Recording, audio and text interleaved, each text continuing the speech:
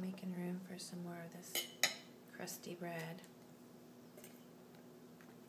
See the little egg yolk bits soaking in there. So for a yummy French toast, you start with good bread. Gotta have some good eggs on hand and a little milk. A lot of other things you could add, but I'm just gonna do really simple this morning. It's Saturday. We have a full, full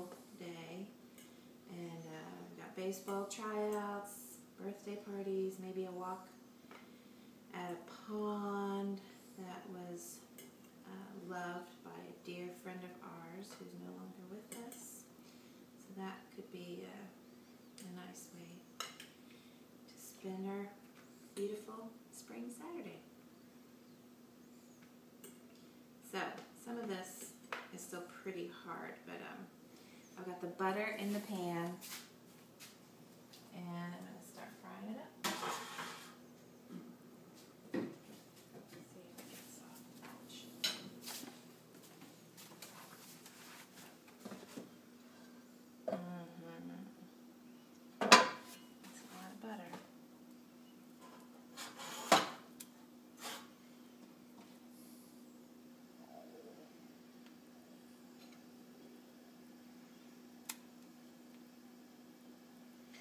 So the flowering trees are just amazing today.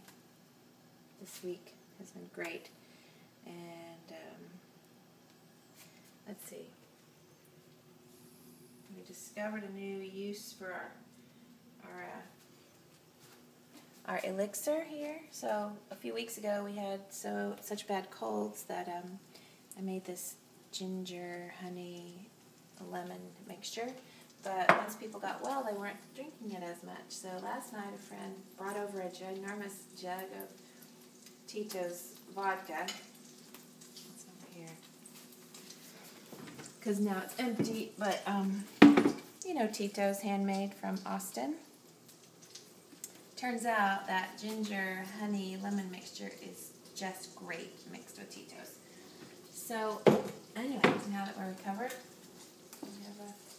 So here they are sizzling away, these little French toasts. And uh, pretty soon, it's going to be time for breakfast.